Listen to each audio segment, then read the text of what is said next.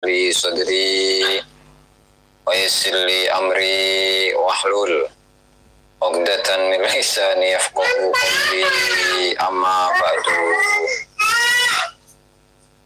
Para hadirin pemirsa yang berbahagia di mana pun anda berada para subscriber, para netizen, seluruh sahabat-sahabatku seluruh saudara-saudaraku sebangsa dan setanah air di mana pun Anda berada, dari Sabang sampai Merauke, dari Miangas sampai Pulau Rote, dan dari mana-mana lah.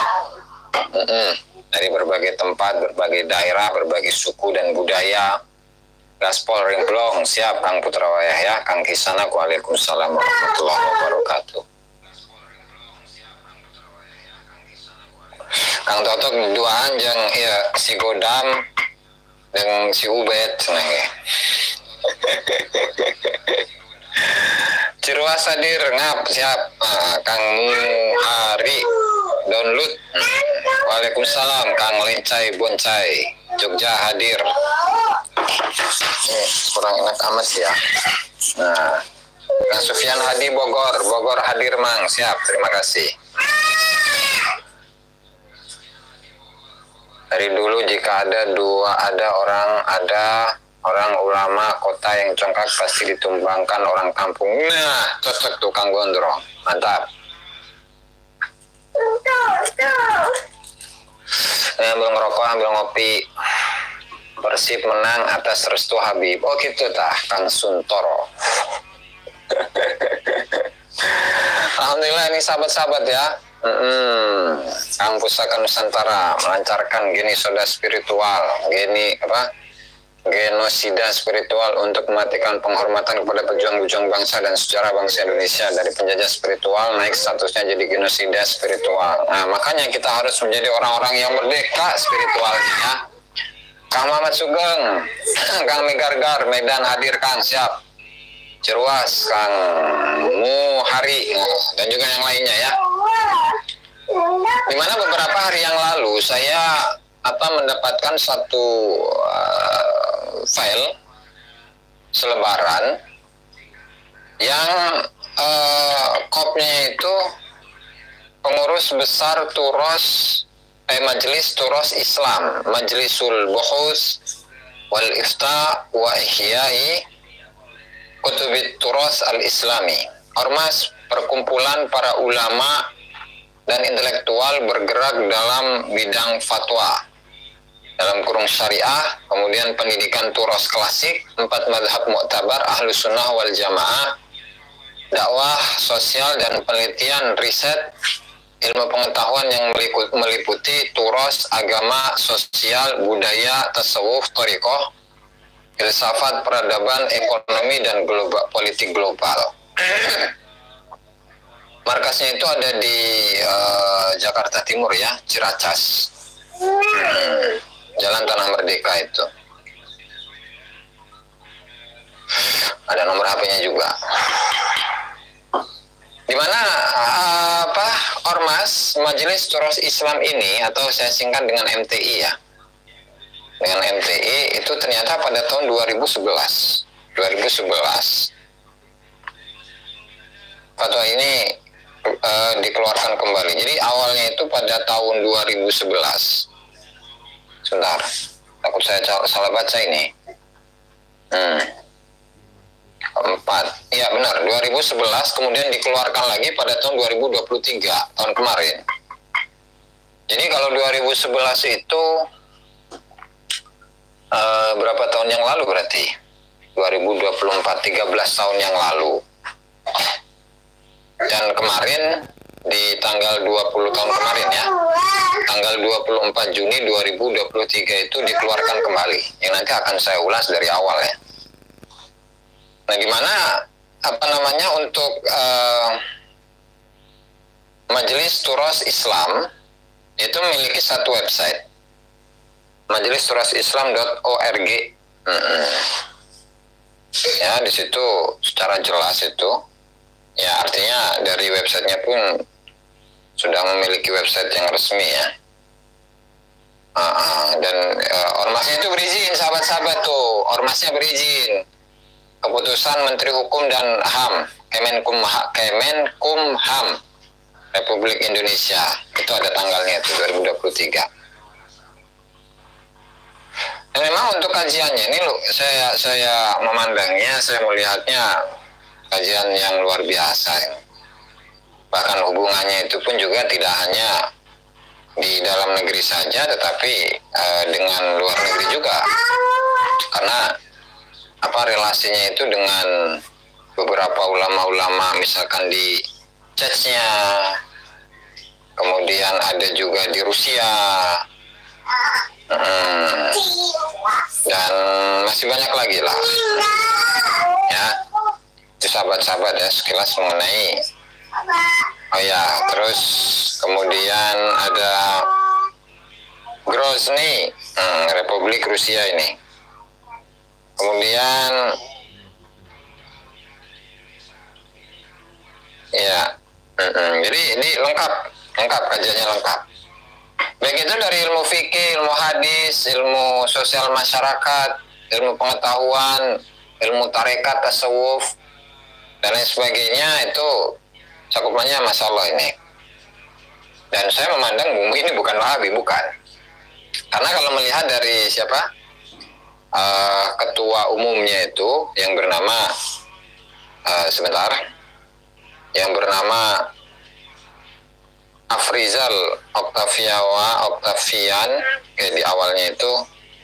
Seperti itu? Ada ada gelar ininya nih Al Mandaili itu Al Mandaili hmm, itu mengingatkan saya kepada salah seorang ulama yang bernama Syekh Abdul Qadir bin Muhammad Al Mandaili atau Al Mindili kalau orang-orang Arab menyebutnya. Yang memiliki sebuah karya bernama Khoza Al Khoza Inustaniyah hmm, fi Kutubis Syafi'iyah Kotaruminami Jul mending ajak bini jalan-jalan atau makan dari bahas ini melulu. Kagak habis-habis lepel polisi atau jalur hukum juga kagak Jul. Ya kagak kelar-kelar gini-gini aja sampai seratus ribu tahun.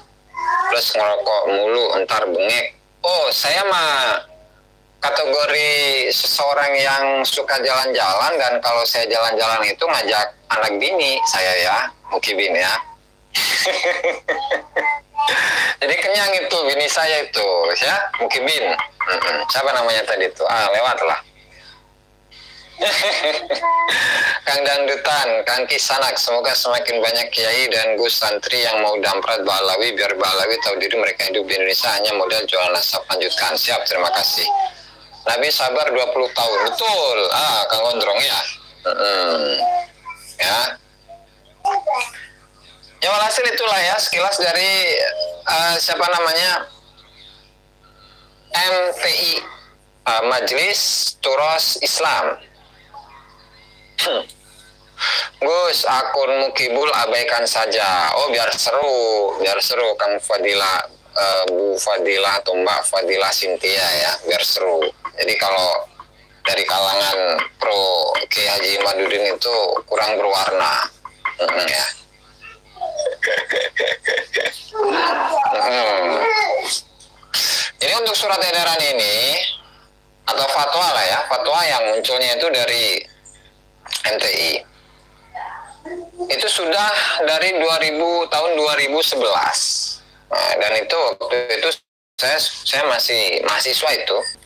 Sekelas berapa ya? 1 2 3 8 9 10 11. Oh, udah tahun keempat itu.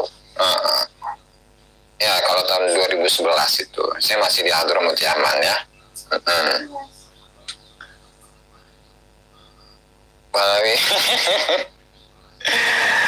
di mana dalam apa surat uh, edaran ini dalam surat edaran ini itu berjudul hukum memakai gelar Habib dalam kurung Habibah Syarif Syarifah Sayyid dan Sayyidah.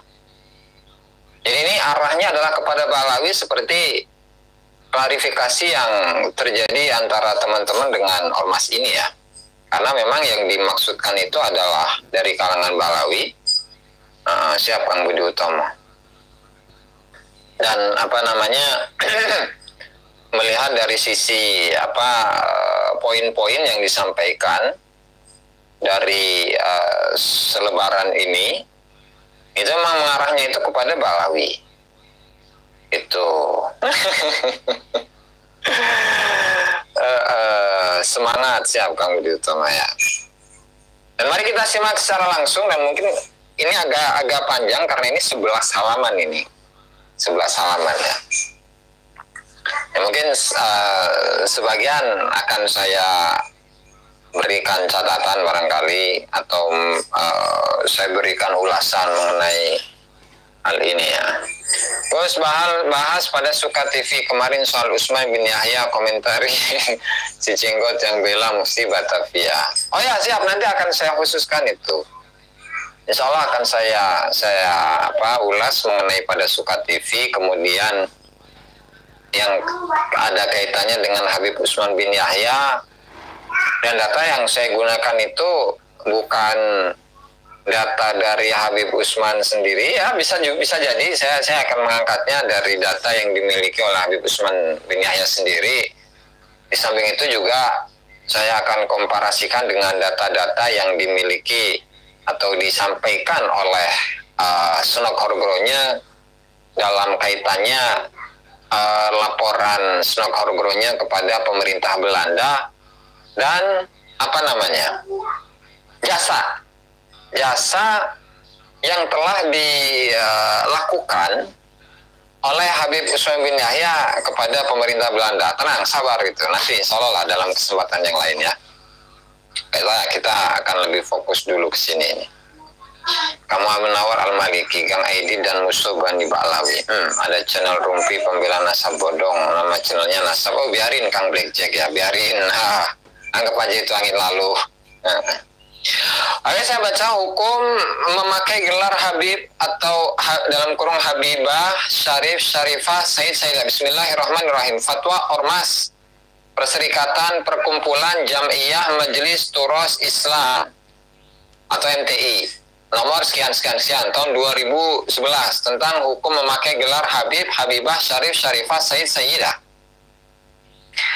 Majelis Turos Islam dalam kurung MTI setelah menimbang bahwa A ya bahwa Ormas Majelis Turos Islam atau MTI mencatat sangat banyak pelanggaran hukum Islam di Indonesia sebab gelar Habib atau Habibah Syarif Syarifah Sayyid Sayyidah ini menjadikan dan mendakwahkan doktrin-doktrin di tengah-tengah masyarakat. Doktrin-doktrin yang bersifat wulu, wulu itu berlebih-lebihan dan sudah melanggar ketentuan hukum syariat Islam di antaranya sebagai berikut. Satu, hmm. Habib bodoh bahkan gila lebih mulia dibandingkan 70 orang ulama yang bukan keturunan Nabi Muhammad Shallallahu Alaihi Wasallam. Ini ini ini saya beri catatan bahwa 70 orang yang bukan Habib gitu intinya. Ini kan memang uh, dulu atau beberapa bulan yang lalu atau tahun kemarin hal ini diangkat oleh Bahar Smith ketika membaca satu kitab tar kitabnya mana? Nah Alman Hajus Sawi di usfi syarah usul tariqatis sadah al ba'alawi berapa itu? Nggak saya tandain lagi lah. Ah, sebentar. Nah ketika mengutip atau membacakan kitab ini ya, kitab ini nih. Jadi ini Al-Manhajus Sawi Syarah Usul Torikoh Balawi. Ini karya dari Habib Zain bin Ibrahim bin Smith. Qultu wa mimman afta bi tarjih syarafin nasab ala syarafil ilmi asy-syekhul allama Ahmad bin Muhammad bin Hajar al-Haytami rahimahullahu taala. Wa nasu ibaratihi kama fi fatawihi Ba'da an su'ila hal syariful jahilu. Amil alimu al amilu al afdalu wa ayyuhuma ahaqqu bi tawqiri idza ijtama'a aw arada syakhsun at takbira fa ayyuhuma yabda'u bihi. Cuman ketika dicek itu redaksinya nggak sama dengan redaksi yang di sini. Ada sedikit apa namanya uh, interpolasi gitu ya. Apakah seorang syarif yang bodoh atau seseorang yang berilmu itu lebih utama dan mana yang lebih berhak untuk dimuliakan ketika dua orang ini berkumpul. Atau ketika seseorang itu ingin mencium tangannya, maka mana yang lebih didahulukan? Nah, fajaba bi qawlihi fi kullin minhuma fadlun azim. Masing-masing dari keduanya itu ada keutamaan yang besar. Amma syarif adapun syarif falima fihi min al-bid'atil karimatil lati la yu'adiluha syai'un. Uh. Adapun seorang syarif ya lantaran dalam dirinya itu ada bagian yang mulia yang tidak bisa dibandingkan dengan sesuatu apa pun. Pemirsa maqala ba'dul ulama la u'adilu bi bid'ati. Rasulullah sallallahu alaihi wasallam ahadan saya tidak saya tidak bisa menyamakan apa bagian dari Rasulullah Shallallahu Alaihi Wasallam kepada seseorang. Wa amal alimu adapun orang yang berilmu al amilu dan seterusnya. Ya lantaran seorang yang berilmu itu terdapat kemanfaatan orang-orang Islam dan memberikan petunjuk kepada orang-orang yang sesat. Fahum khulafa'ur rusul wa wadisu ulumihim wa ma'rifatihim. Maka para ulama yang bukan Habib itu adalah para pengganti atau penerus para rasul waris ilmu-ilmu mereka dan pengetahuan mereka. Fayata'ayyanu, maka wajib. Alal muwafaqi kepada orang yang uh, diberi taufik oleh Allah Ta'ala an yara untuk melihat lil kulli kepada semuanya. Minal ulama dari kalangan ulama wal asyraf dari kalangan para syarif haqqahum hak-hak mereka minat tauqiri wa ta'dim sama-sama memuliakan keduanya Nah cuman wal mabdu'u bihi idza ijtama'a asy-syarif dan yang dimulai uh, yang lebih didahulukan itu ketika dua orang ini berkumpul adalah seorang syarif keturunan Rasulullah Shallallahu alaihi wasallam lantaran sabda Rasul qaddimu Quraisyan wa lima fihi minal bid'ati syarifah dan di dalamnya itu terdapat bagiannya Rasulullah Shallallahu alaihi wasallam. Tuh. Nah, kalau uh, apa namanya mengenai syarifun jahilun au syarifun wahidun afdalu min sab'ina aliman. Nah, itu ada pada halaman yang sebelumnya 384 ini ya. Dan ini sudah pernah saya angkat di sini nih. Teksnya di sini nih ya. Min sab'ina min sab'ina aliman itu. Ah, ini ya. Nah, saya nggak tahu Kang Nazrat ya, saya nggak tahu. Uh -uh, saya nggak tahu itu. Hmm. Oke, nah itulah itu sekilas dari apa yang disampaikan tadi dalam apa namanya poin pertama lah ya yang dikatakan sebagai sebuah pelanggaran hukum syariat Islam. Dua, wanita-wanita keturunan Habib jika menikah selain kepada Habib, keperawanannya kelak di akhirat harus dikembalikan oleh pria non habaib yang menikahinya. Aduh, ini syariat atau ajaran dari mana ini? Ah, itu yang bikin saya pusing itu. Nah, itu yang bikin saya pusing. Lah lanjung hmm. foto dari mana itu? Jadi ketika ada seorang perempuan Habib atau Habibah yang suaminya itu bukan Habib maka di akhirat itu peraw keperawanannya harus dikembalikan itu sahabat-sahabat ya. Atau gimana caranya itu?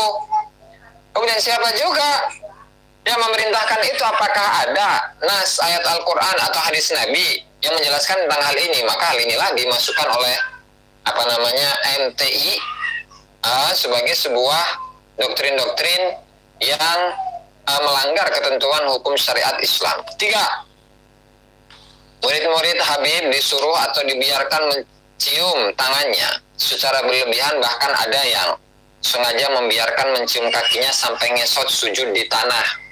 Ini bahasa itu, Mas. Empat, tidak sedikit para habib gengsi bersosial di masyarakat umum dan gengsi menjadi makmum sholat dengan orang-orang yang selain habib. Meskipun musola atau masjid hanya berapa meter dari kediamannya, oh, ada gitu juga ya, masya Allah. Hmm. Ya mungkin itu yang di, di, didapati oleh siapa namanya anggota dari MTI ya Majelis Turos Islam. Kemudian yang kelima keturunan Habib meskipun juhala bodoh atau idiot. Di momen-momen acara diletakkan tempatnya di atas panggung, sementara selain keturunan Habib duduknya di bawah panggung, meskipun sudah sepuh. Bahkan seorang kiai diperlakukan sehina itu, ya itu memang seringnya seperti itu. Ya, seringnya seperti itu. Kemudian selanjutnya, yang keenam, para habaib meskipun salah tidak boleh dikritik. Ya para habaib meskipun salah tidak boleh dikritik. Kemudian siapa yang mengkritiknya, mengkritisinya dianggap dosa dan terlaknat dan dianggap membenci duriah Rasulullah Shallallahu Alaihi Wasallam. Ya Allah. Apalagi Kiai Haji Imaduddin gitu kan. di sana. Apalagi Kiai Haji Imaduddin yang meneliti nasab Habib, nasab Balawi. Dan ternyata tidak. Tidak terkonfirmasi kan secara data-datanya. Mantap kan di satu. Ah, tidak terkonfirmasi kan data-datanya. Wah tuh itu mendapatkan laknat itu pasti dari mereka itu ya. Ah, ah, di anjing-anjing di babi-babi. Itu kan? Itu udah biasa itu teman-teman sahabat-sahabat ya. Ah nah gitu Kang Onel. Ah, lanjut aduh nah tadi tujuh Habib Alim atau Habib Bodoh harus lebih dimuliakan dibandingkan dengan yang bukan keturunan Habib. Meskipun di situ ulama betul. Tadi berdasarkan das tadi kitab ini syarah Al-Manhajus Sawi syarah usul tariqas sadah al-alawi. Ah. Eh, siapa jelema edan kabeh ge. Heeh. Pugu edan geus edan simak bae. Sahanu edan ya. Aduh ampun aing mah. Lanjut. Kelapan. Orang yang mengkritik, menegur, menasehati para habib yang congkak dan kurang ajar dikatakan membenci zuriat Rasulullah. Ya itu. Hmm. Doktrin lagi itu. Karena ini semuanya adalah doktrin-doktrin ya sahabat-sahabat ya. Ini semuanya adalah doktrin-doktrin yang memang kita dapati di uh, dunia nyata. Itu ya. Hmm, gitu. Apalagi di medsos gitu kan. Ya. Selanjutnya, sembilan. Wanita-wanita keturunan Habib tidak boleh menikah selain dari golongan habaib. Bahkan pernah terjadi yang dipidanakan seorang laki-laki yang menikahi keturunan habaib, yaitu di Pasuruan itu. Di Pasuruan bahkan seorang kiai yang menikahi seorang habibah. Ya, mukanya muka kiai tersebut itu ditempeleng kemudian dijejek gitu kan dengan kakinya, wih ngeri deh pokoknya mah. Bahkan dipidanakan, tidak hanya dipersekusi saja, tidak hanya digeruduk saja, tidak hanya di apa namanya ada upaya-upaya untuk uh, menyakiti atau melukai, tetapi bahkan dipidanakan. Masya Allah, astagfirullahaladzim. Itu ya, sembilan. Dan sepuluh, para habaib rasis, asobiyah, ulu, fanatisme kesukuan itu yang uh, terlalu kepada selain habaib dianggap halal, dan doktrin ini mereka ajarkan kepada orang-orang pribumi. Sehingga tertanam bagi orang-orang pribumi di suku dan provinsi tertentu di Indonesia menjadi budaya mereka turun-temurun sampai saat ini. Siapa saja yang membantah ajaran ini, mereka atau kelompok suku-suku pribumi ini siap mati jihad membela untuk mempertahankannya. Yaitu cuci otak. Nah, bahasa lainnya itu. Ah, Ah siap Kang Nazrat, ah, lebih bagus itu kalau memang ketemu itu ya, ah, Kang Nazrat, ah, siap. Terima kasih masukannya. Sebelas ya sebelas. Ah, ah. Ya artinya kalau nomor sepuluh itu jadi uh, Habib-Habib atau ya kalangan Habib-Habib itu tidak sendiri, tetapi mereka itu dibantu dibela mati-matian bahkan siap untuk mengorbankan nyawa ya dan mereka itulah masuk dalam kategori para mukibin para mukibin Habib itu ya. Hmm. oh gitu ya Kang. Tapak Tilas keluarga Ahmad bin Isa di Irak sudah menyatakan bahwa Ahmad bin Isa Irak bukan leluhurnya Balawi itu disampaikan Rumel Abbas sendiri oh ya ya ya nanti harus dilebih di ini untuk diperdalam lagi itu Kang Gondor Kang siapa tadi namanya Kang Tapatilas ya. Siapa Suruhan? Kang M Hunain MZ. Oh mantap nih. Uh, tetangganya Al-Wali Al-Pentagoni. Hmm, ya. Lanjut. 11. Bahkan ada beberapa habaib melakukan pelecehan seksual sampai menzinahi jamaah atau santriwatinya dengan alasan dijamin masuk surga. Wah, enak amat eh. Masya Allah. Barang siapa yang mau berzina dengannya, apa barang siapa yang mau berzina dengannya ketika ditangkap dijatuhi pidana maka pengikutnya atau orang-orang pribumi atau saya tambahin lagi disilakan dengan mukibin mukibin siap kang maman kacang anti hisap para mukibin mukibin ini jihad mati-matian membela Habib Bejat ini sebab sebab sebab sebab ini semua karena sudah ratusan tahun orang-orang pribumi di doktrin para habaib ini adalah suci dari dosa karena dianggap keturunan Rasulullah Shallallahu Alaihi Wasallam. Yang itu tuh apa namanya wa yutahhirukum tadhiro. Nah, itu ayatnya itu. Saya saya nggak ingat ayatnya itu. Uh, uh, kalau teman-teman ada yang ingat nggak baik. Ya, itu maksudnya ke arah sana gitu.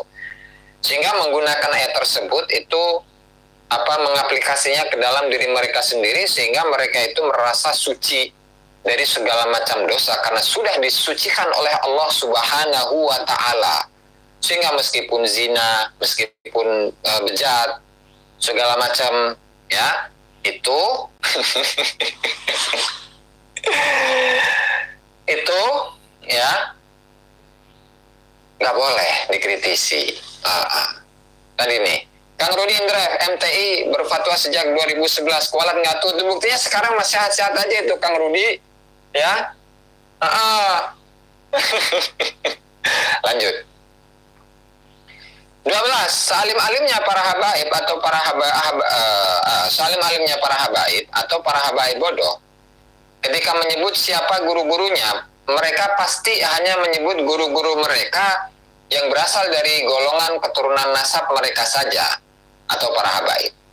Meskipun mereka pintar dan mendapat gelar sarjana di universitas-universitas bersumber dari para ulama-ulama pribumi atau non habib. Oh ya, nah makanya itu diklaim sebagai apa namanya uh, banyak dari kalangan mukibin itu bahwa ketika nasab nasab habaib itu uh, ketika ada nasab habaib itu ketika nasab habaib itu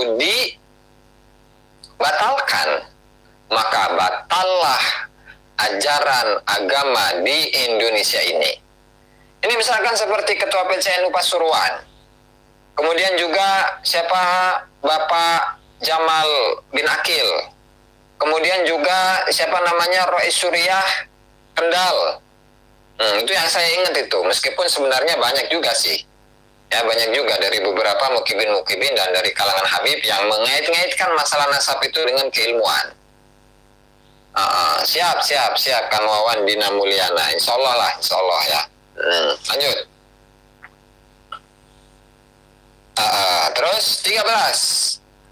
Sehebat apa pun para ulama pribumi atau non habib, mereka para habaib itu gengsi menyebut atau mengambil pendapat mereka para ulama pribumi atau non habaib. Begitu juga dalam karya-karya tulis keagamaan mereka, mereka mencantumkan rujukan bersumber dari para ulama non habaib. Jika karena bila sudah terpaksa tidak ada lagi golongan uh, mereka yang ada dijadikan sebagai rujukan. Ya kurang lebih gitulah ya, kurang lebih memang begitu.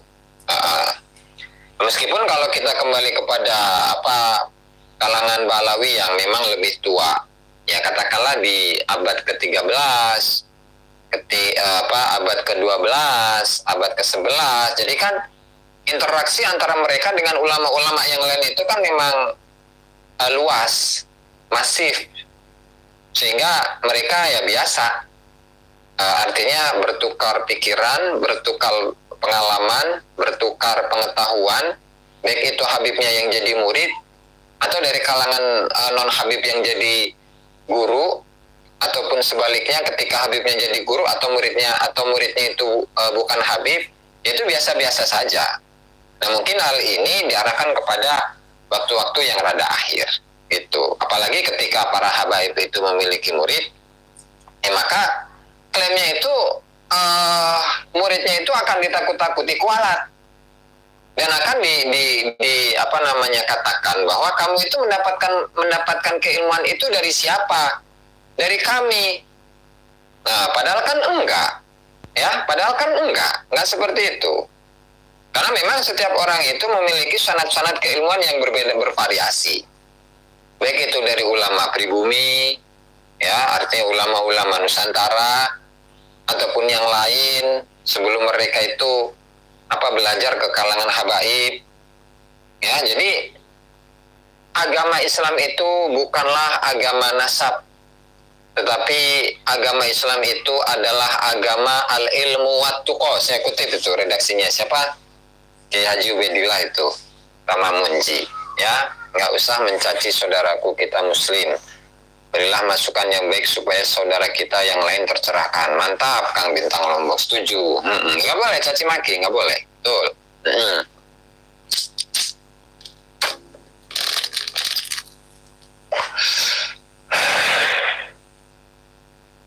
Itu 13. Ini kalau di zaman dulu biasa ya. Artinya dari kalangan habaib yang memang mendapatkan ijazah dari guru-guru yang non habib. Ya misalkan seperti Habib Ahmad bin Hasan al-Attas itu berguru kepada uh, Said Ahmad Zaini Dahlan ketika di Mekah.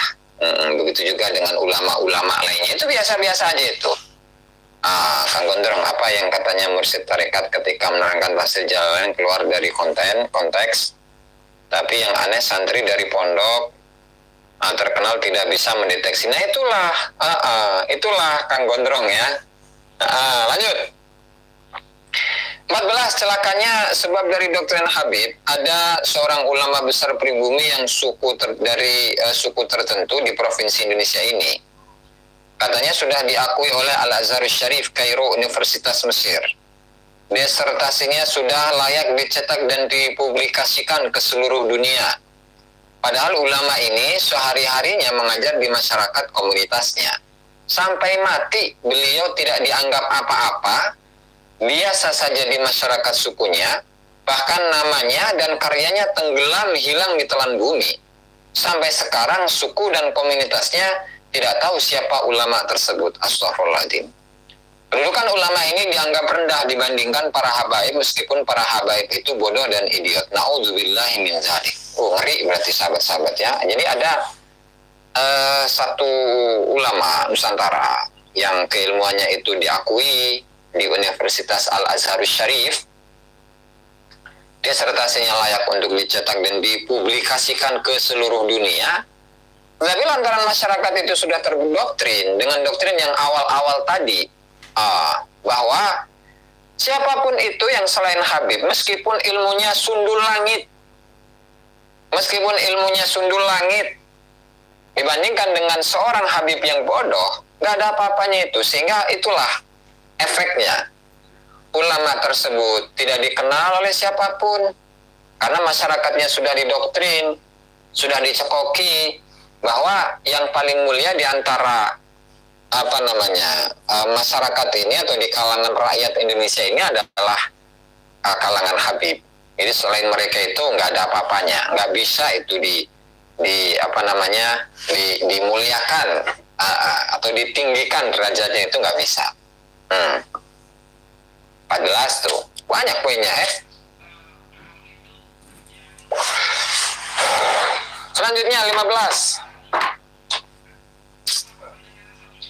Ada Habib mendoktrin dirinya di masyarakat ketika berceramah pernah meminum darah Rasulullah Shallallahu Alaihi Wasallam. Iras. Emang masih ada tah darahnya Rasulullah ini masih ada tah? Ya Rasulullah sudah dimakamkan, sudah wafat, sudah dikubur, sudah dimakamkan. Kok bisa ya minum darah Rasul itu dari mana itu minumnya itu bingung saya lanjung he. Hmm. Hmm hmm.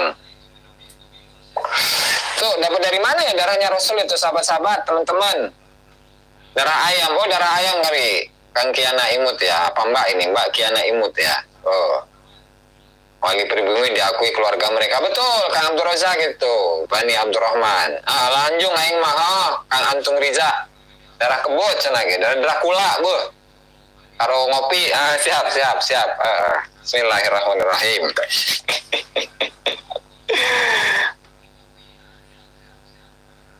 Ini baru poin keberapa tadi? Hmm, 15. ini sebelah salaman ini. Selanjutnya yang ke-16 ada Habib berceramah mendoktrin masyarakat dirinya lebih dari 30 kali mi'raj berjumpa langsung dengan Allah Subhanahu wa taala. Aduh, Habib siapa ini? Waduh. Lanjung ya Jadi selain yang eh, uh, 70 kali, kan kemarin atau waktu-waktu yang lalu sudah saya bahas itu bahwa di kitab apa Al Jawhar Syafaf itu nah, di awal-awal ini ketika menceritakan tentang pakai mukodam itu ya nah, di awal-awal oh nggak saya tandain lagi nih coba coba coba nah. Uh.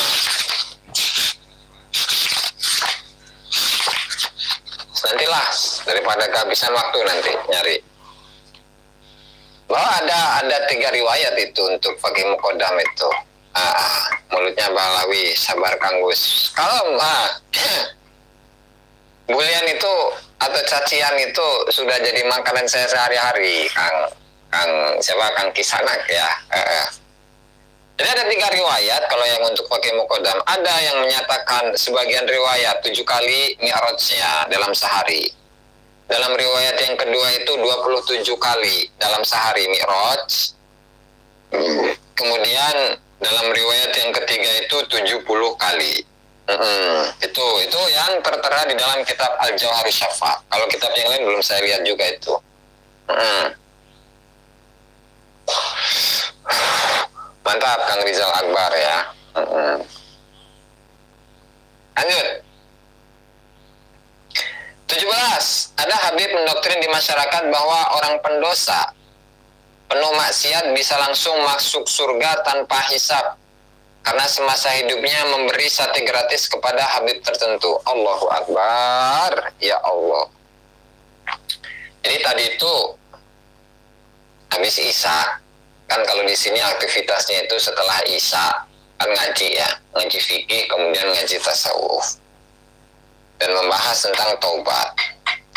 Di mana kriteria dari seseorang yang taubat itu ya bahwa dirinya tidak pernah atau tidak boleh merasa aman dari dosa. Artinya dia tetap harus dalam hatinya merasa bahwa dosa saya itu sangat banyak. Uh, dosa saya itu sangat banyak sehingga apa? Sehingga saya tidak layak, tidak pantas untuk kemudian menganggap diri saya itu sudah lepas dari dosa atau dosa saya sudah diampuni oleh Allah Subhanahu wa taala. Ya karena memang e, setiap manusia itu dalam dirinya harus memiliki dua sifat. Yang satu khauf, yang kedua roja. Kalau khauf ya artinya tadi dia harus menanamkan dalam dirinya bahwa dosa saya itu banyak dan saya khawatir, takut Allah Ta'ala itu tidak mengampuni dosa-dosa saya Kemudian roja ya meskipun di sisi lain itu dia harus memiliki uh, roja harapan bahwa mudah-mudahan dosa saya, dosa-dosa saya itu diampuni oleh Allah Subhanahu wa taala. Jadi tengah-tengah gitu. Jadi nggak bisa ini dengan mengatakan bahwa ketika memberikan sate kepada Habib lalu kemudian dosanya langsung diampuni oleh Allah Subhanahu wa taala. Nah, karena apa ya? Karena tadi namanya manusia itu pasti memiliki dosa.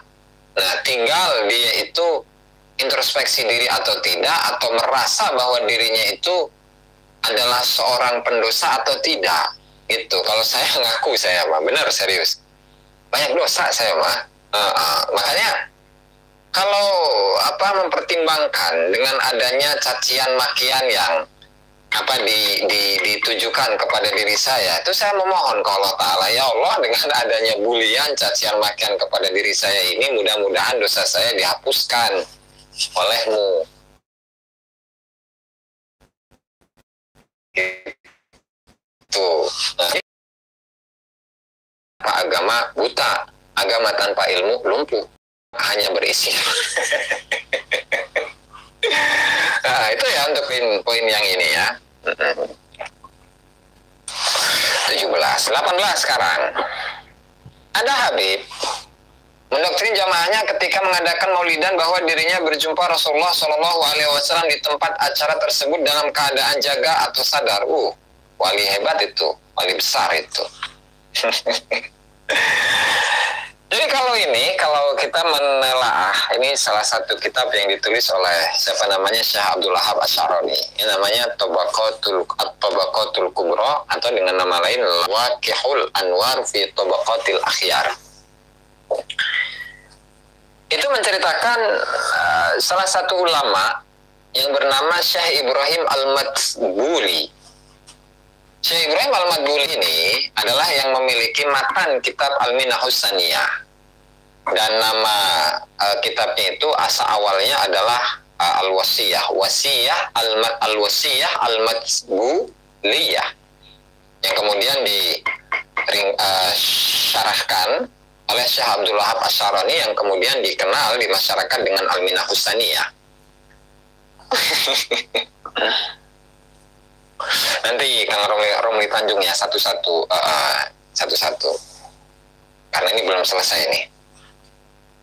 Nah, saya Ibrahim Al-Madbuli itu sering kali bertemu dengan Rasulullah Shallallahu Alaihi Wasallam. Ya, bahkan gurunya itu satu-satunya adalah Rasulullah Shallallahu Alaihi Wasallam. Pada suatu hari beliau itu bermimpi ketemu Rasulullah SAW kemudian beliau melapor kepada ibunya wahai ibu ini saya Ibrahim Al-Madbuli ya? Saya ini sering kali bertemu Rasulullah Shallallahu Alaihi Wasallam. Ya.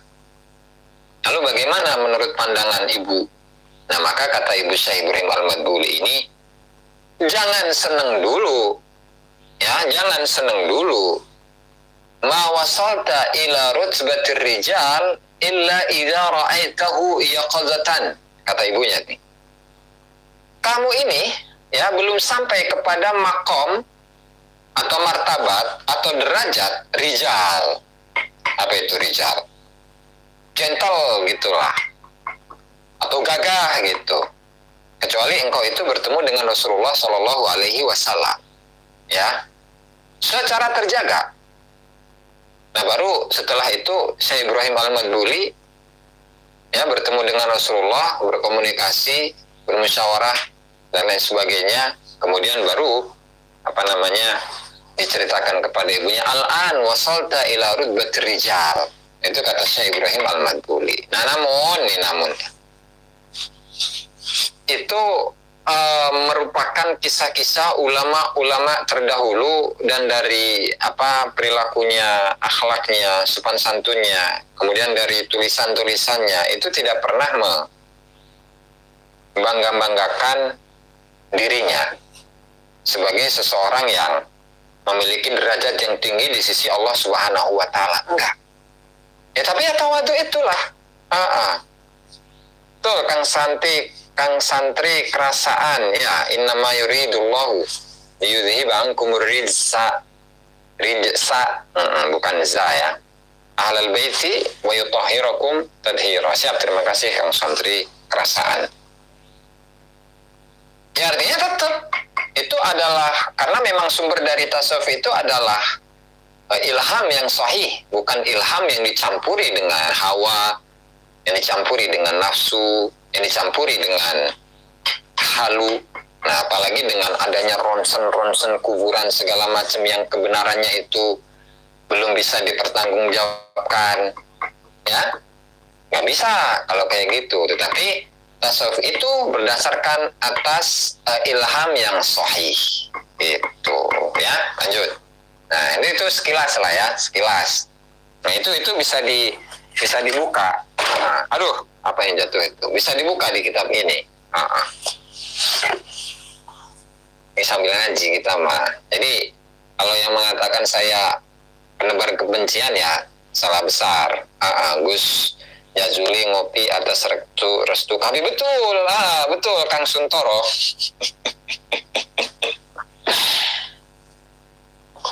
Oke,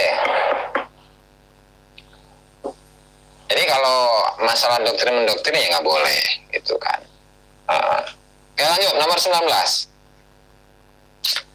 Tidak sedikit para Habib mendoktrin Habib Gila sebagai waliullah majdub kepada jamaahnya bahwa ada beberapa peristiwa Habib-Habib yang terkena penyakit menahun yang tingkah dan ucapannya banyak yang aneh-aneh bahkan e, berbuat tidak senonoh kepada jamaah wanita mereka ini dijuluki sebagai wali masjid.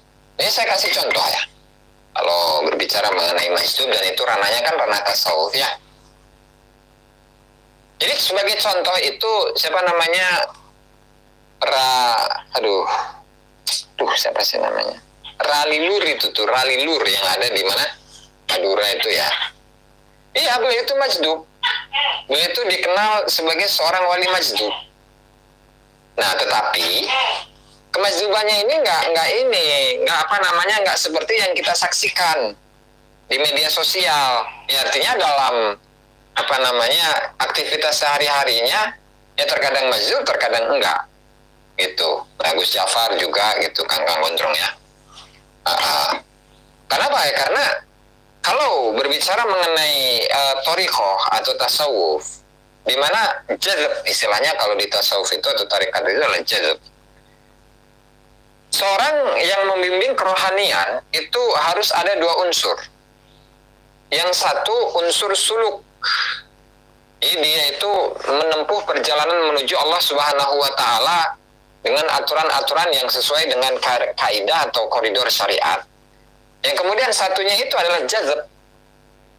Nah, itulah kriteria dari seorang guru kriteria dari seorang guru spiritual yang dapat membimbing murid-muridnya menuju ke Allah Subhanahu wa taala. Dan keterangan ini ada dalam kitab Iqadul Himam itu karya dari siapa namanya Syekh um, tuh siapa namanya itu?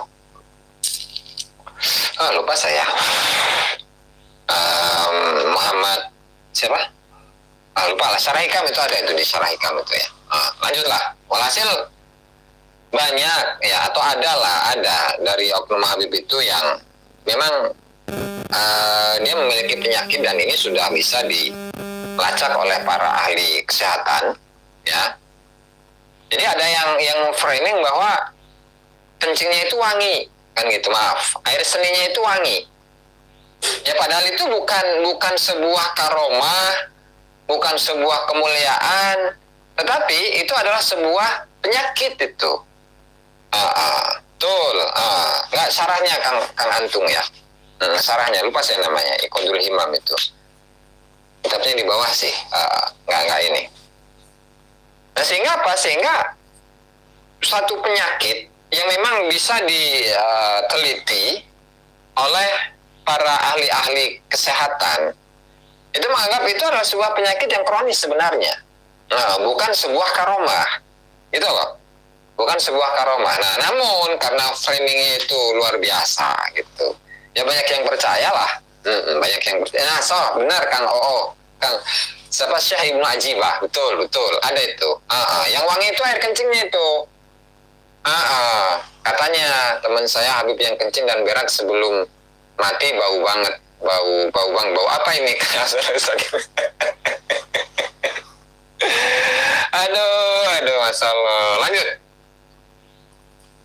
Nomor 20. Gelar Habib mereka jadikan untuk melakukan perbuatan semena-mena menindas jamaahnya untuk kepentingan dirinya. Disuruh bekerja berat yang menyita waktu panjang dengan tidak memberi gaji.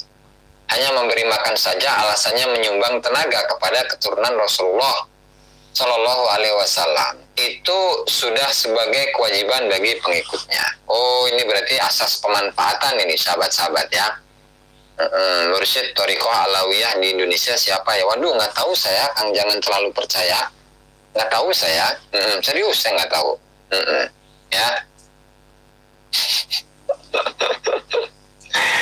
Kemudian ke-21, gelar Habib mereka jadikan sebagai perbuatan untuk menghalalkan segala cara segala cara meminta makanan atau jualan kepada siapa saja yang tidak membayar. Padahal yang diambil itu adalah barang dagangan yang diperoleh dari modal usaha bahkan dari modal usaha hutang sana hutang sini ya Allah kasihan amat ini hmm. itu dijadikan sebagai apa perbuatan untuk menghalalkan segala cara hmm. kasihan kasihan ini yang dimintain itu ya hmm. 22 Sejak muncul, munculnya gelar-gelar Habib Habibah, Syarif, Syarifah, Sayyid, Sayyidah di Indonesia, muruah atau citra orang-orang pribumi menjadi rendah seperti zaman perbudakan. Ya khususnya zaman Belanda gitu ya, dikatakan sebagai inlander. Hmm, ya, bahwa di Indonesia ini ada tiga kasta, yang satu itu adalah kasta tertinggi yaitu orang barat, orang Eropa. Satu. Kemudian yang kedua itu adalah orang-orang uh, Asia Tengah lah ya atau Asia Barat. Atau dengan kata lain itu ya orang Cina kemudian siapa namanya orang India kemudian orang Arab. Nah, Kang Bayu Seno ini Samsu Samsu Refill ah. ya. Kemudian yang ketiga itu adalah pribumi. Hmm, yang ketiga itu adalah pribumi. Orang Indonesia lah orang Nusantara.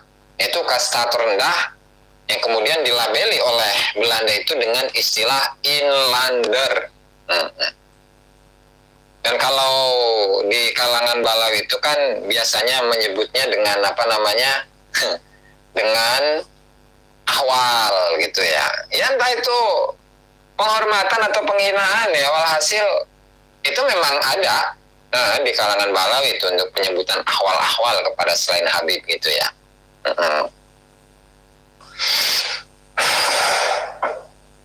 Bahkan orang-orang pribumi yang fanatisme habaib berani melakukan tindak pidana demi membela junjungannya karena kebodohan dan karena sudah tertanam doktrin-doktrin sesat dari nenek moyang mereka. Dan doktrin-doktrin ini terus-menerus diturunkan ke generasi mereka dengan cara paksa budaya hina dan di atas kebodohan yang nyata dengan mengatasnamakan agama. Sehingga yang apa namanya sudah terdoktrin oleh masyarakat ya oleh masyarakat lagi. Yang terdok masyarakat yang sudah terdoktrin oleh mereka itu akan memiliki satu kebiasaan dengan kebiasaan yang mereka lakukan. Contoh nah, dari video-video yang sudah pernah saya angkat gimana dalam menyebut seorang ulama seorang kiai yang banyak membawa pencerahan bagi um, rakyat Indonesia itu hanya disebut dengan namanya. Uh, salam kenal juga Kang Syah Ahmad ya. Hanya disebut dengan namanya uh, uh, imat gitu. Ya setidaknya kalau memang tidak suka gitu, ya biasa aja lah. Uh, banyak juga ya bos Ajis ternyata kisah-kisah dari Habai belum lagi kisah-kisah dari Kiai dan yang lain. Ah, kisah yang kayak gimana dulu Kang pemburu berkah ya mungkin saya. Hmm, nanti dulu. Dan apa namanya? Itu sudah menjadi tradisi sehingga menganggap kiai-kiai itu adalah orang-orang yang bodoh, dungu, kemudian sebut sebutan kebun binatang itu dengan mengabsen nama-nama binatang di kebun di eh, yang ada di kebun binatang itu sudah menjadi satu hal yang biasa. Hmm, bukan satu hal yang apa ya yang tidak mengenakan gitulah. Tapi itu menganggap hal itu sudah sudah apa namanya sudah biasa. Tolong jelasin masuk mak maksud kata ahwal dari terminologi bahasa. Jadi ahwal ya pakai ho ahwal yang pakai ho itu artinya adalah paman uh, paman artinya. Khol kholun. Itu artinya paman yang kemudian dijamakkan dijamakkan menjadi akhwalun. Nah, tetapi kesan dari apa namanya waduh pusing ya lalanjung ya Kang Munir Al Falimbani nih ya waduh. Uh, itu hadromut kedua cenag ya? Hmm. Kang Kang Munir ya. Di mana akhwal ini kalau menurut mereka itu adalah sebuah panggilan penghormatan. Ya sebuah panggilan penghormatan. Lantaran orang-orang Indonesia ini atau apa namanya uh, ya bangsa Indonesia ini itu dianggap sebagai keluarga dari ibu mereka. Nah, sehingga memanggil orang-orang Indonesia ini dengan panggilan akhwal. Nah tapi ini kan tergantung bagaimana penyampaian, tergantung bagaimana diksi. Yang terkadang penggunaan akhwal itu adalah untuk merendahkan. Itu loh. Dan apa namanya ma, ma, ma, menjadikan lakop atau penamaan itu atau panggilan itu sebagai kasta yang kedua setelah kasta pertama pertama itu adalah kasta Habib, kemudian kasta yang kedua itu adalah akhwal. Eh, akhwal. Eh, gitu. Ah, ah, Zaini Lab penontonnya 170. Alhamdulillah, Papua Nusantara bagus berarti. Ah, ah, lebih pusing lagi, udutku habis Gus cuy. silakan, silakan ini kalau bisa diambil lah. Sadar sih ya teh. Teh Aziz.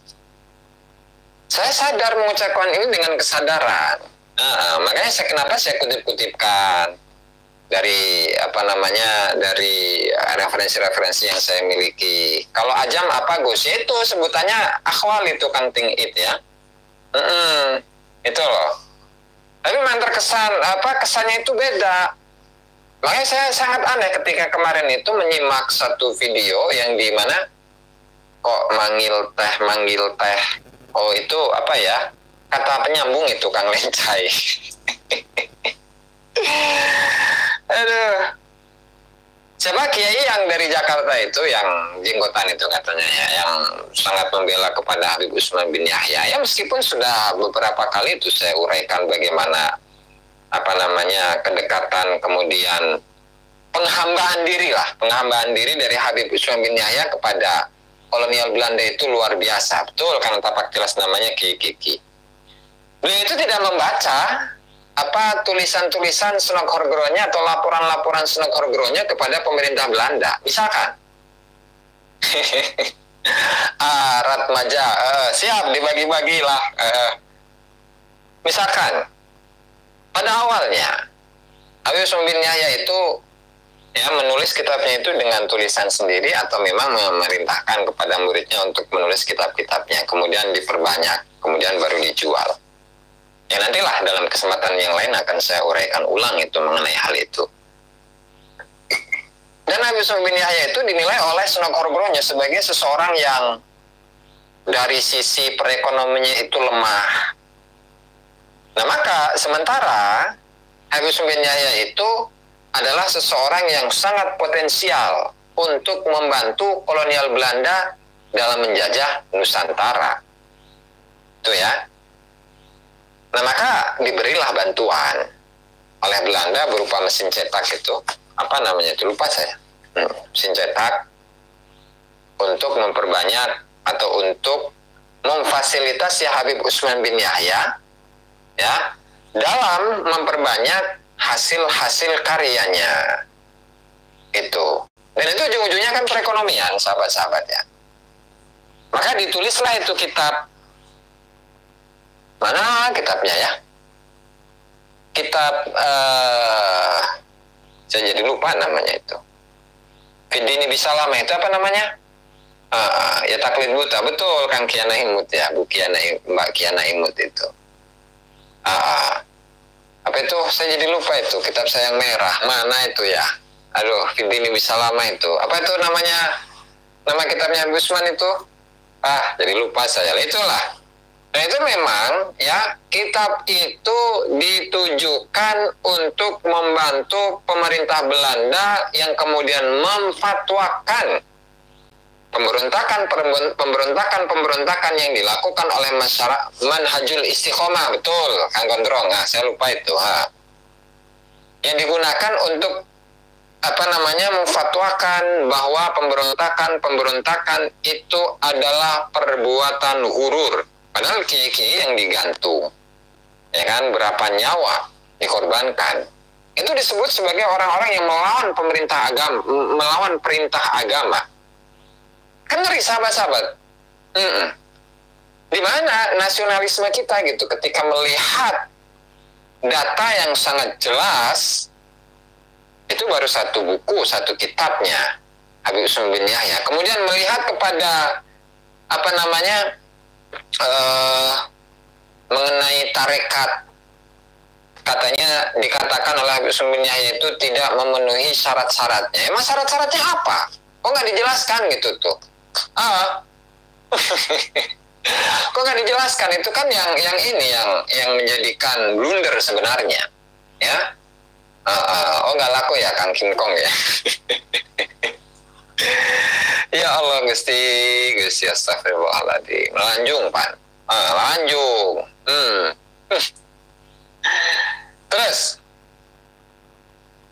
Bahkan orang-orang pribumi yang fanatisme habaib berani melakukan tindak pidana demi bela junjungannya karena kebodohan dan karena sudah tertanam doktrin-doktrin ini terus-menerus diturunkan ke generasi mereka dengan cara paksa budaya hina dan di atas kebodohan yang nyata dengan mengatasnamakan agama itu. Hmm, jadi mengatasnamakan agama, mengatasnamakan membela terhadap cucu Nabi, hmm, meskipun sampai saiki belum terkonfirmasi baik secara data pustaka ataupun data DNA kan gitu sahabat-sahabat ya hmm.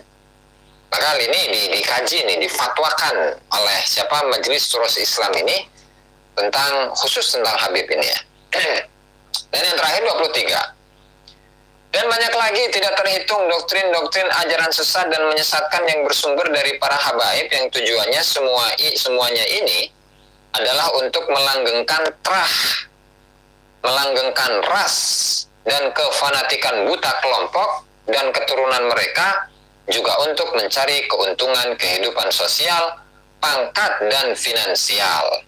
Nah, itu A itu baru poin A ya. Ini udah halaman 3 ini. Kemudian yang selanjutnya B bahwa pasal 28 UUD 45 ayat 1 yang berbunyi setiap orang berhak atas pangkuan, jaminan, pelindungan dan kepastian hukum yang adil serta perlakuan yang sama di hadapan hukum Bunyi pembukaan UUD 45 alinea pertama bahwa sesungguhnya kemerdekaan itu ialah hak segala bangsa. Dan oleh sebab itu, maka penjajahan di atas dunia harus dihapuskan karena tidak sesuai dengan pri kemanusiaan dan pri keadilan.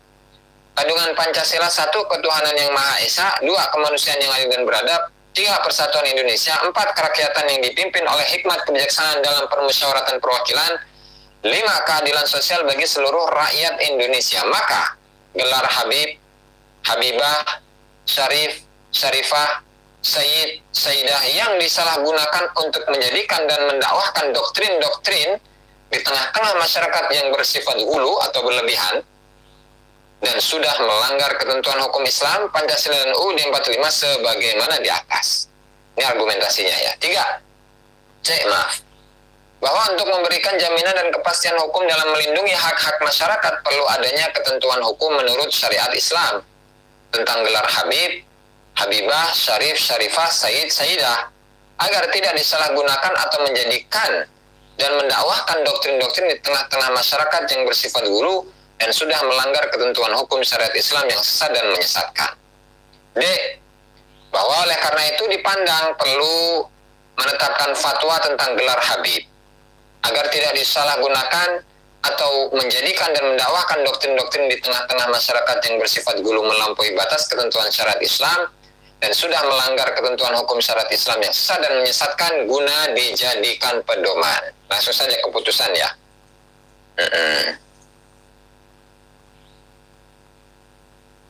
Nah, kemudian di sini diperkuat dengan ayat-ayat Al-Quran. Pemayadili minkum nuzikhu azaban kabira. Terus hadis uh, man ila ghairi abihi wa huwa ya'lamu annahu ghairu abihi fal jannatu alaihi haramun. Kemudian man idda'a ila ghairi abihi aw intama ila ghairi mawalihi fa alaihi la'natullah al mutatabi'atu ila yaumil qiyamah. Kemudian hadis mana ini mana ini? Sama kayak tadi ya mengenai nasab ya atau pengakuan sebuah nasab yang palsu ya. Hadis-hadisnya banyak itu. Hadis Ahmad Bukhari Muslim Ibnu Majah Abu Dawud Tirmidzi Nasai kemudian Musnad Imam Ahmad. Dan laisa minna man da'a ila asabiyatin wa laisa minna man qatala ala asabiyatin wa laisa minna man mata ala asabiyatin itu. Ya artinya dalam hadis ini terdapat apa larangan kepada kita semua agar tidak memiliki asobiyah atau uh, fanatisme ya. Apalagi fanatisme kesukuan ras golongan kelompok ya. Hmm. dan seterusnya lah ya. Maka memutuskan. Bentar langsung aja memperhatikan. Ya memperhatikan. Nih mana memutuskan ini nah memutuskan menetapkan fatwa tentang hukum memakai gelar Habib, Habibah Syarif Syarifah Said Sayyidah, ya sudah untuk Balawi ya.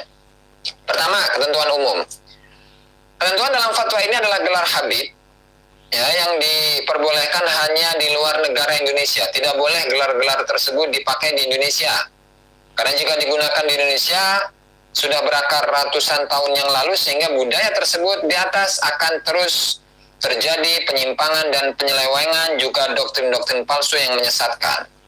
Gelar Habib cukup hanya keyakinan bersifat pribadi dirinya dan terhadap Allah Subhanahu Allah Subhanahu wa taala tidak diperdagangkan kepada umat untuk mencari keuntungan dunia dan melanggar syariat Islam dengan doktrin-doktrin palsu, dusta dan semena-mena dengan cara paksaan, pemaksaan. Kedua, ketentuan hukum haram mutlak tergolong perbuatan asobiyah sama kedudukannya seperti pelaku makar terhadap negara Nah, siapa ini yang makar ke negara ini ya? Sudah tahu kita mah ya. Kemudian atau kot utorik pelaku begal, pelaku dosa besar. Jika para habib mereka memaksakan gelar-gelar tersebut dengan melakukan tindakan pidana, maka boleh aparat hukum menangkap mereka dijerat dengan pasal pidana. Jika mereka para habaib tersebut melakukan perlawanan, maka aparat pemerintah boleh memeranginya hidup atau mati. Jika mati jenazahnya tidak wajib dimandikan. Uh, serem ya. Hmm, fatwanya ini. Itu kedua uh, keputusan ya. Ketiga, jika gelar Habib bersedia mengikuti aturan dan ketetapan undang-undang yang berlaku tentang gelar Habib, tidak disalahgunakan lagi atau menjadikan dan mendakwahkan doktrin-doktrin di tengah-tengah masyarakat yang tidak bersifat hulu, mendoktrin dengan cerita-cerita hoax, cerita-cerita halu itu ya uh, khurafat itu palsu menjual yang menjual ayat dan hadis-hadis palsu dan tidak melanggar ketentuan hukum syariat Islam budaya Indonesia adanya persamaan hak dan kewajiban tidak mendoktrin sebagai manusia suci atau mendoktrin sebagai ahlul bait dan siap dihukum pidana jika melanggar ketentuan sebagaimana di atas maka hukumnya adalah halal Ahlul Bait. Nah, kemudian di sini ada ada catatan sedikit ya. Ahlul Bait sangat terbatas. Tidak semua zuriyah Nabi disebut Ahlul Bait. Zaman sekarang sudah tidak ada zuriyah Nabi disebut Ahlul Bait. Nah, makanya sering kali kita me menyimak, mendapati banyak dari oknum. Oknum kok banyak ya, bingung saya lanjung ya. Oknum jing loba. Oknum kok banyak ini, gimana ya? yang memang dalam ceramah-ceramah mereka itu membawa saya eh, apa ayat-ayat Al-Qur'an yang mengenai ahlul bait. Ya, atau hadis-hadis Nabi membawa membawa-bawa hadis Nabi yang berkaitan dengan ahlul bait tetapi itu diarahkannya kepada Habib. Nah, itulah yang dikatakan sebagai sebuah penyesatan dalam pemahaman agama. Gitu loh, ya. Sehingga inilah yang yang memang sangat-sangat apa namanya berbahaya untuk menyebarkan doktrin-doktrin itu kepada masyarakat. Kemudian selanjutnya penutup fatwa ini berlaku selagi gelar Habib disalahgunakan sebagai perbuatan rasis, gulu, berdakwah dengan doktrin-doktrin dusta, menjual agama dengan segala cara untuk mensucikan diri mereka melakukan perbuatan pidana dan mencari keuntungan dunia. Cara-cara mereka ini terlarang termasuk perbuatan pidana dan pemerintah wajib segera menindak tegas pelaku-pelaku yang menggunakan dan yang mendakwahkan gelar-gelar sebagaimana di atas. Ditetapkan Jakarta Timur Rabu 10 Ramadan 1432 Hijriah atau 10 Agustus 2011 pimpinan pusat Majelis Turos Islam, Ketua Umum K. Haji Ofid R, Ketua Syekh Al-Hajj Abdul Aziz, Mustafa bin Mustafa bin Dahlan bin Abdul Latif Al-Mandaili, Al-Maidani Al-Azhari. Oh, masalah ini. Kemudian Sekjen Ramdhani Parera. Hmm. Fatwa ini dikeluarkan kembali di Jakarta Timur Sabtu 5 Dzulhijjah 1444 Hijriah atau 24 Juni 2023. Tuh, ya. Oke, ini ini saya bacakan terakhir nih nah, untuk sekalian menutup ya. Fatwa fatwa di uh, sebagaimana di atas dikeluarkan lagi setelah pertemuan kunjungan Imam Mursyid MTI Haji Ofid R yang didampingi oleh Ketua Umum Harian Afrizal Oktavian dan Sekjen Ramdhani Parera dan pengurus lainnya ke kantor Robitoh Alawiyah. Oh, oh gitu ya, ke Robitoh Alawiyah. Kedatangan MTI ke kantor Robitoh Alawiyah berdialog langsung dengan Ketua Robitoh Alawiyah Habib Taufik bin Abdul Qadir bin Husin As-Segah beserta jajarannya. Di antara isi dialog, di samping masalah dakwah, juga ada membicarakan tentang bahayanya fanatisme keturunan Arab dan Cina di Indonesia. Dari pihak MTI tidak mendapat jawaban yang memuaskan, malah terkesan seperti membela. Ya kayak gitu. Kalau nggak kayak gitu mah namanya bukan Robito Alawiyah, ini Kiai, ya. Hmm. Robito Alawiyah adalah organisasi yang mereka klaim memiliki otoritas mengeluarkan isbat nasab Alawi yang bersambung kepada Rasulullah Shallallahu Alaihi Wasallam. Kunjungan resmi ini pada hari Rabu 2 Maret 2022. Oh, dua-dua malah ini. Sekitar jam 10, setengah 11 pagi di kantor Robitoh Alawiyah, Jalan TB Simatupang, nomor 7A 8 RT 10 RW 3 TJ Bar. TJ Bar apa ini?